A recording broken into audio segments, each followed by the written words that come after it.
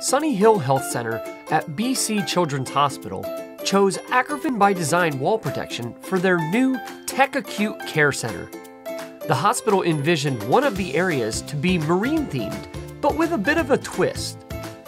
To help distract and ease the anxiety of patients and their families while they wait to receive medical attention, the walls now provide them with a unique interactive experience. Construction Specialties worked with two graphic design companies to create motion activated moving images that project onto the Acrovyn by Design. The hospital set up two interactive displays.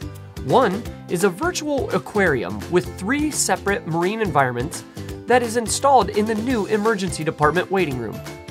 Patients can learn, move, and interact with the playful digital experience.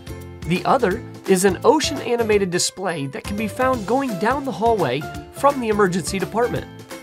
This wall is mainly for viewing pleasure, with sea turtles and whales swimming about and even dolphins leaping above the waves.